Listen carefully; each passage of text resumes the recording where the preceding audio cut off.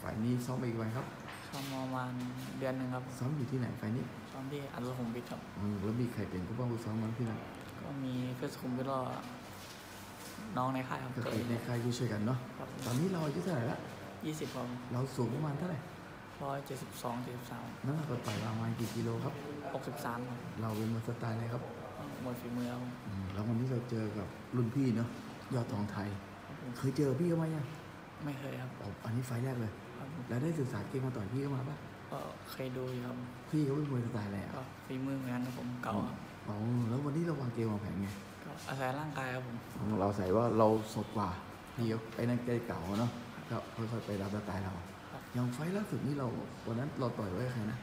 อ่ายอดกฤษดาครับเป็นไงนะวันนั้น ชนะมาครับชนะเข้ามานะวันนั้นเวทเท่าไหร่